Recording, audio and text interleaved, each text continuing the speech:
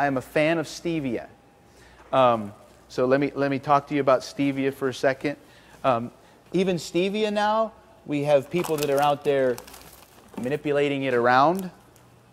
This is stevia, S T E V I A. It's made from a stevia plant. It is 400 times sweeter than sugar, so you don't need very much of it, and it has no glycemic effect on your body, meaning that it doesn't affect your blood sugar whatsoever. Um, this bottle right here, I've had for a very, very long time um, years. All right? It comes with a little thing like this.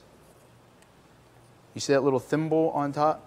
That's how you scoop it and use it. Just little tiny bits. If you use too much, it's yucky tasting. If you use the right amount, it's very sweet and it does the trick, right? So stevia, I'm a fan of, right? Um, the other sweetener that you want to use is what's called xylitol. Not xylitol made from corn, xylitol made from birch, like a birch tree, okay? Um, because corn is a grain, and there's practically no non GMO corn left for us to have.